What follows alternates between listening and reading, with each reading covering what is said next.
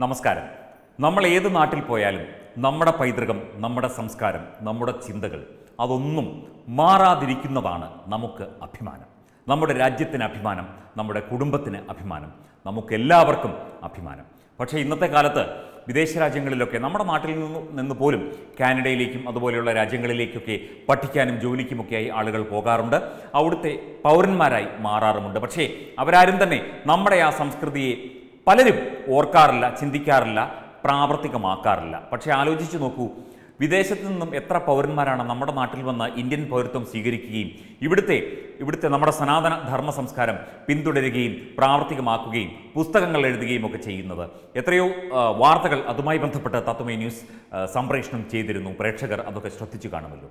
ഇതിപ്പോൾ ബ്രിട്ടൻ ബ്രിട്ടനിലെ ഏറ്റവും പ്രധാനപ്പെട്ട സ്ഥാനത്തിരിക്കുന്ന ഒരു വ്യക്തി. അതായത് ബ്രിട്ടന്റെ ഗ്രേറ്റ് ബ്രിട്ടന്റെ ധനമന്ത്രി finance minister of Great Britain. ആ വ്യക്തിയാണ്. അദ്ദേഹത്തിന്റെ പേര് ഋഷി ഋഷി സുനക്. ഈ വ്യക്തി ഇപ്പോൾ മാധ്യമങ്ങളിൽ നിറയുകയാണ്. അദ്ദേഹം ബ്രിട്ടന്റെ ധനമന്ത്രി എന്ന് പറഞ്ഞാൽ ലോകത്തിലെ തന്നെ ഏറ്റവും വലിയ പദവികളിൽ ഒന്നാണ്. ഈ ബോറിസ് ജോൺസൺ മന്ത്രിസഭയിലെ തന്നെ ഏറ്റവും പ്രധാനപ്പെട്ട രണ്ടാമത്തെ തസ്തികയാണ്. ഒപ്പം തന്നെ ലോകത്തിലെ തന്നെ ഏറ്റവും പ്രധാനപ്പെട്ട തസ്തികകളിൽ ഒന്നാണ് യൂറോപ്യൻ രാജ്യമായ ബ്രിട്ടന്റെ ധനമന്ത്രി എന്നുള്ളത്. കാരണം ഈ ബ്രെക്സിറ്റുമായി ബന്ധപ്പെട്ട കാര്യങ്ങളൊക്കെ ഇപ്പോൾ നടന്നു വരുന്ന ചർച്ചകളൊക്കെ ഇപ്പോൾ നടന്നു വരുന്ന ഈ സമയത്ത് ബ്രിട്ടന്റെ ധനമന്ത്രിക്ക് ഒരുപാട് കാര്യങ്ങൾ ചെയ്യേണ്ടതായിട്ടുണ്ട്. ആ മനുഷ്യൻ പറയുന്നു ഞാൻ ബ്രിട്ടീഷ് പൗരനാണ്.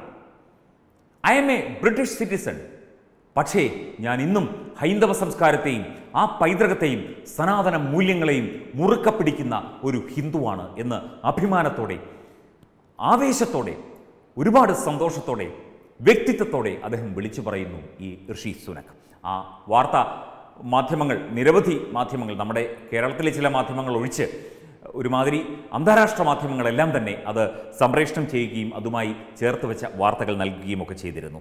ഇദ്ദേഹം ഗോൾഡ്മൻ സാക്സ് എന്ന ബാങ്കിന്റെ സാരഥിയായിരുന്നു. മുപ്പത്തിയൊൻപത് വയസ്സേ ഉള്ളൂ. കൺസർവേറ്റീവ് പാർട്ടിയിലെ വളർന്നു വരുന്ന ഏറ്റവും ശക്തനായ വ്യക്തിത്വമായിട്ട് ഇദ്ദേഹത്തെ ഋഷി സുനകിനെ അവിടുത്തെ ജനത അവിടുത്തെ ഭരണകൂടം കാണുന്നു.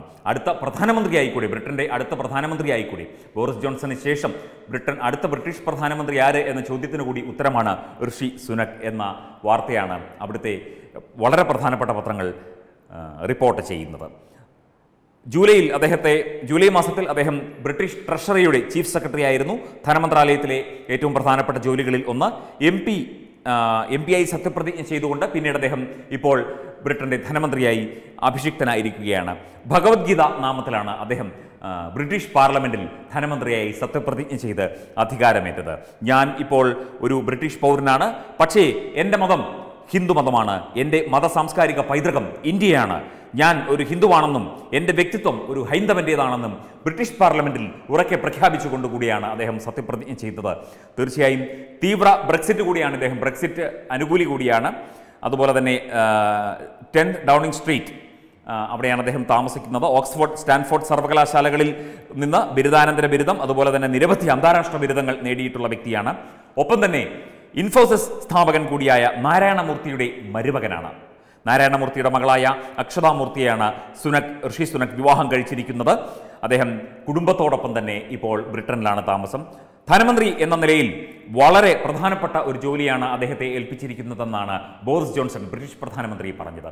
തീർച്ചയായും നമുക്ക് അഭിമാനിക്കാവുന്ന കാര്യമാണ് ഇൻഫോസിസ് സ്ഥാപകന്റെ മരുമകൻ ഋഷി സുനക്. അതുപോലെ ബ്രിട്ടന്റെ ഏറ്റവും പ്രധാനപ്പെട്ട പദവി ബ്രിട്ടീഷ് ധനമന്ത്രി ആ പദവി വഹിക്കുന്ന ആ ഭാരതീയൻ അവനവന്റെ സംസ്കാരത്തെ അവനവന്റെ പൈതൃകത്തെ ഭാരതീയ സംസ്കാരത്തെ സനാതന ധർമ്മത്തെ നെഞ്ചോട് ചേർത്ത് പിടിച്ചുകൊണ്ട് ബ്രിട്ടീഷ് പാർലമെന്റിൽ അദ്ദേഹത്തിന്റെ ശബ്ദം മുഖരിതമായിരിക്കുന്നു. നമുക്ക് ഭാരതത്തിന് തീർച്ചയായും അഭിമാനിക്കാം.